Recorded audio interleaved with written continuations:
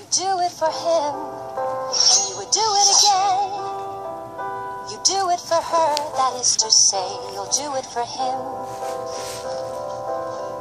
Keep your stance wide, keep your body lowered. As you're moving forward, balance is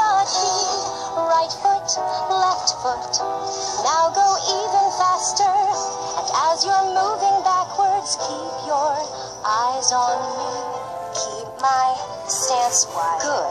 Keep my body lowered. Right. As I'm moving forward. Concentrate.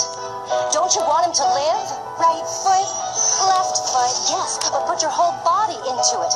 Everything you have, everything you are, you've got to give. On the battlefield, when everything is chaos, and you have nothing but the way you feel, your strategy and a sword. Just think about the life you'll have together after the war. And then you do it for her. That's how you know you can win.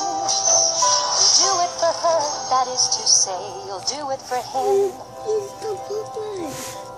Deep down, you know you weren't built for fighting, but that doesn't mean you're not prepared to try. What they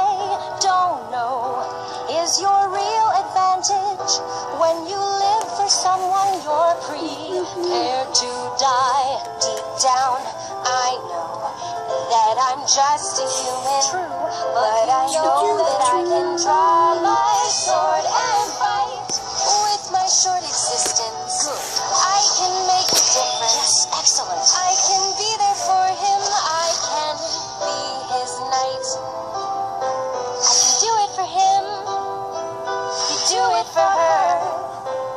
do that again. Yes, ma'am. You do it for her, and now you say, I'll do it for him. Um.